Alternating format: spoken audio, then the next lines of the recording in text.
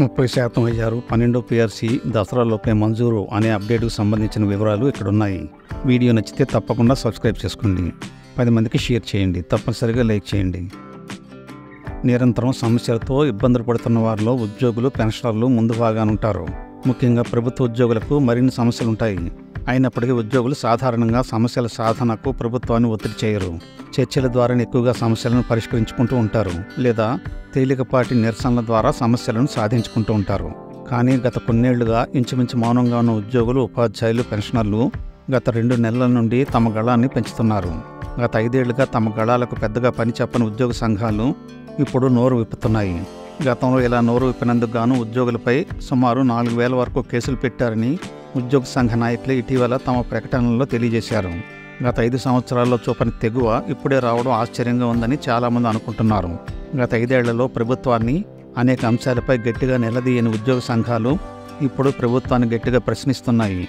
Pending బకాయిల చెల్లింపు CPS రద్దు వంటి అంశాలపై గత ప్రభుత్వ హయాంలో కూడా ఉద్యోగులు తమ గళాన్ని వినిపించినప్పటికీ ప్రస్తుతం వినిపించినంత గట్టిగా అంత విస్తృతంగా గతంలో వినిపించలేదు.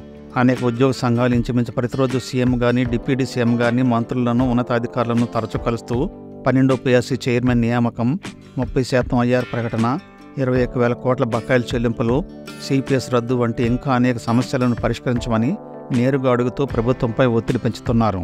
ఇప్పటికే పన్నెండో పిఆర్సీ సమయం దాటి పద్నాలుగు నెలలు అయిపోయిందని ఇప్పటివరకు కమిషన్కు చైర్మనే లేరని ఇప్పుడు కొత్త కమిషన్ వేసిన కమిషన్ తన పనిని పూర్తి చేసి వేతన సవరణ జరిగేందుకు మరో సంవత్సరం పైనే పడుతుంది కనుక అంటే మొత్తం వేతన సవరణ పూర్తవ్వడానికి రెండు సంవత్సరాలకు పైనే అవుతుంది కనుక తక్షణమే ముప్పై శాతం ఐఆర్ దసరాలోగా ప్రకటించమని సంఘాలన్నీ అడుగుతున్నాయి.